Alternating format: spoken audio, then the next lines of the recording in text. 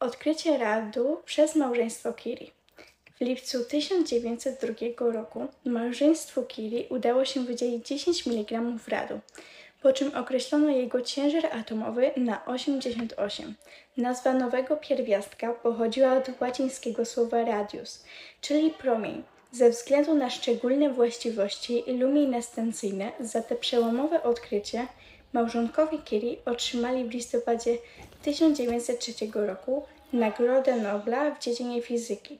Tym samym Maria stała się pierwszą kobietą wyróżnioną tym medalem, a już w 1911 roku dostała drugiego Nobla, tym razem w dziedzinie chemii za odkrycie polonu.